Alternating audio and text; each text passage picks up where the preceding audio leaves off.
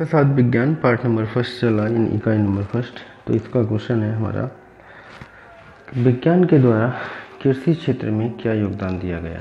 यानी कि विज्ञान से हमें कृषि क्षेत्र में क्या क्या योगदान मिला या क्या क्या सहायताएँ प्राप्त हुई?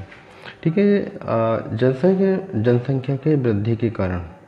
ठीक है यानी जैसे जैसे जनसंख्या बढ़ती गई तो खाद्यान्न उत्पत्ति, खाद्यान्न यानी खाने पीने की जो चीज़ें, गेहूँ, चावल, ये सब जो होती है, खाने की चीज़ें होती हैं, दाल, तेल तो इनकी आवश्यकता बढ़ने लगी, ठीक है? तो इनको पूर्ति करना पुराने उपकरणों की सहायता से संभव नहीं था। तो कृषि के क्षेत्र में वैज्ञानिक आविष्कार, कृषि के क्षेत्र में वैज्ञानिक आविष्कारों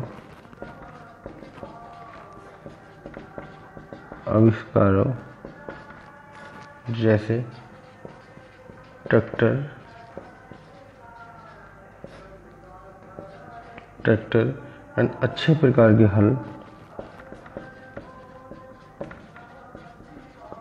ट्रैक्टर, अच्छे प्रकार के हल, ट्यूबवेल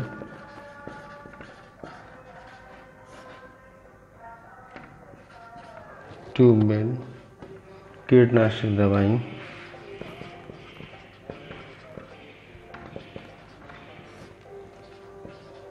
कीटनाशक दवाओं,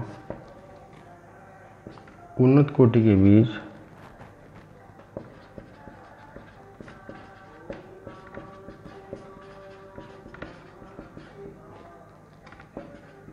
उन्नत कोटि के बीज, रासायनिक उर्वरक,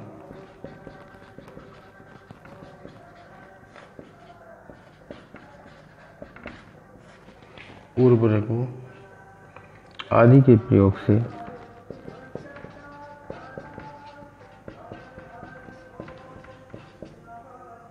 आदि के प्रयोग से कृषि उपज में पर्याप्त वृद्धि हुई है।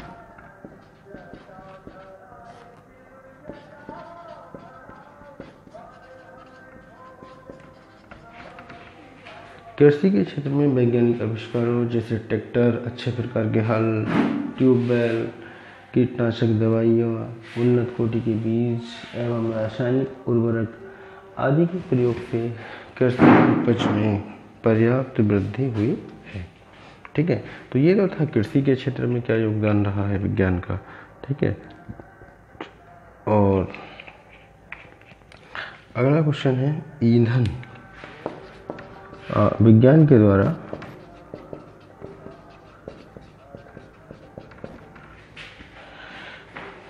विज्ञान के द्वारा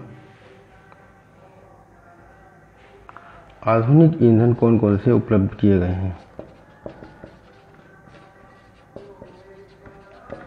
ईंधन कौन कौन से उपलब्ध किए गए हैं?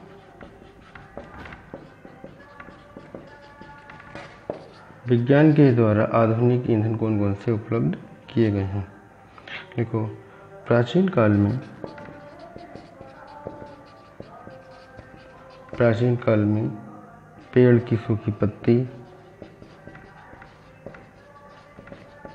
पेड़ की सूखी पत्ती, गोबर से तैयार कंडे, गोबर से तैयार कंडे कंडे यानी जिसको उपला कहा जाता है, लकड़ी कोयला। कोयला मिट्टी का तेल। मिट्टी का तेल। ईंधन के प्रमुख स्रोत थे।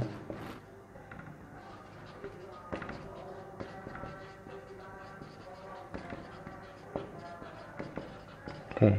परंतु विज्ञान के आविष्कारों के द्वारा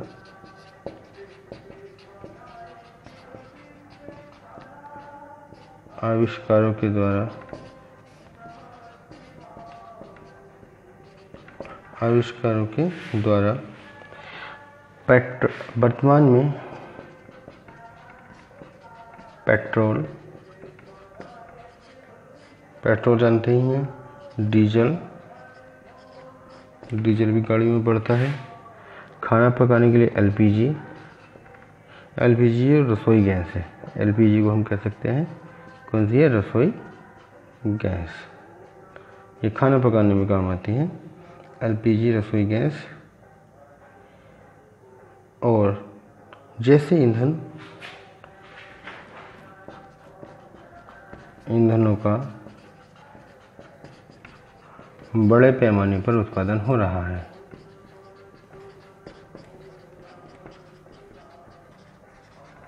बड़े पैमाने पर उत्पादन हो रहा है। ठीक है?